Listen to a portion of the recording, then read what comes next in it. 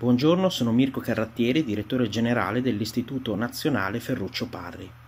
Il nostro istituto, nato nel 1949 per conservare le carte della Resistenza, è stato fondato da Ferruccio Parri, di cui porta il nome dal 2017, grande comandante partigiano e primo presidente del Consiglio dell'Italia liberata.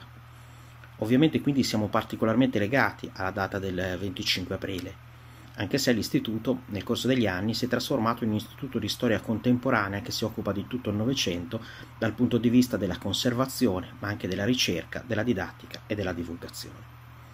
Crediamo che anche nel 2021, tanto più nella situazione di pandemia, sia importante ricordare la data del 25 aprile 1945 che segna non solo la fine della resistenza, ma anche la fine della guerra e di vent'anni di dittatura fascista. Si tratta di qualcosa di ancora molto importante per tutti noi che fonda la nostra identità e la nostra democrazia.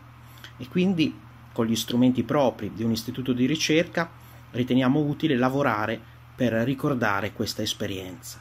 Lo facciamo con diversi progetti, eh, tra i quali mi piace ricordare il portale Ricompart, cioè il portale Partigiani d'Italia, eh, realizzato insieme con l'ICAR, il Ministero della Cultura, che raccoglie le schede ufficiali delle commissioni di riconoscimento dei partigiani del dopoguerra, oltre 500.000 schede che abbiamo digitalizzato e inserito in un database al servizio di tutti i cittadini. Quindi buon 25 aprile a tutti da parte dell'Istituto Nazionale Ferruccio Parri.